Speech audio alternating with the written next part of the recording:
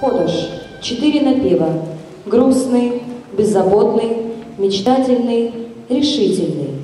Исполняет камерный оркестр средней специальной музыкальной школы при Ростовской государственной консерватории имени Рахманинова. Художественный руководитель и дирижер Дмитрий Еленович Шейнкман.